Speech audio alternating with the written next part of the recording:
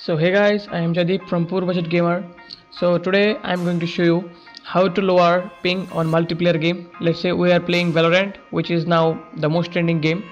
So many of this, many of the players play this on mobile ping. So mobile ping is very high, but I will show you how to reduce the ping. So let's get started. So guys, there are basically two ways which I will show you to reduce ping. So the first one is go to Google Chrome, type Valorant ports. So there are two ports which are available. So just first copy that TCP port, copy. Then go to start, check Windows Firewall.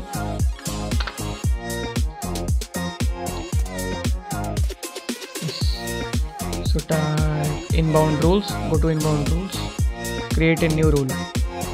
New rule for port.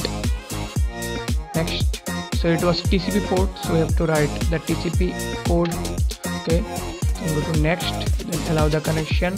Next, next, then name it as Valorant TCP. Enter. So it's the first one. Then again, copy the UDP port. Go to firewall. Inbound rules. Get to new rule. Port. Then it's UDP. We have copied the UDP. That's UDP port. Next. Allow. Then Valorant UDP.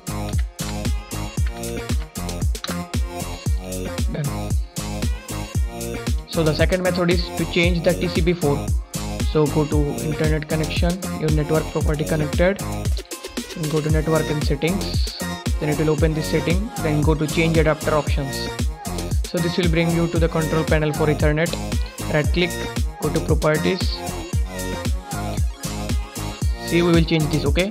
Then keeping in this type cmd command prompt.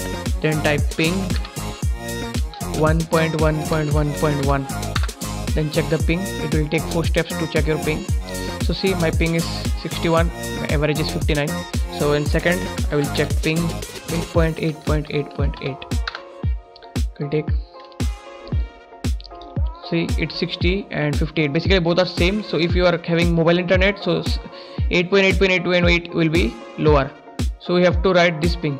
Go to tcp4 then go to properties then use server DNS I will write 8.8.8.8 and below this I will write 8.8.4.4 then click OK then close.